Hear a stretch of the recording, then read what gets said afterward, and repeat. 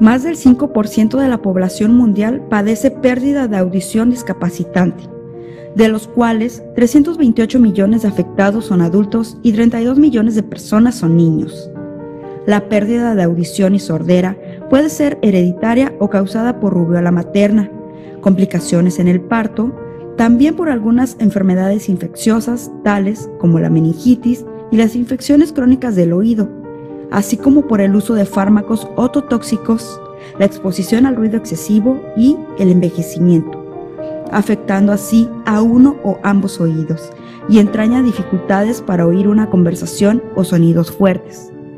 Un gran porcentaje de las personas que sufren pérdida de audición podrían mejorar su situación mediante la detención e intervención temprana, así como un tratamiento adecuado.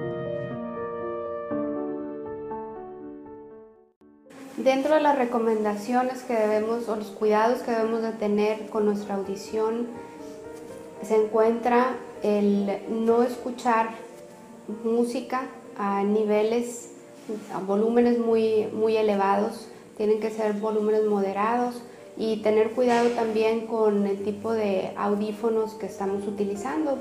Los audífonos que van dentro del conducto auditivo externo fueron diseñados para poder aislar mejor del ruido del ambiente. Sin embargo, esto aumenta dentro del conducto, aumenta el, eh, volumen, los decibeles a los que se está escuchando eh, la música, entonces pues es algo contraproducente. Debemos de tener mucho cuidado y, no subirle más el volumen.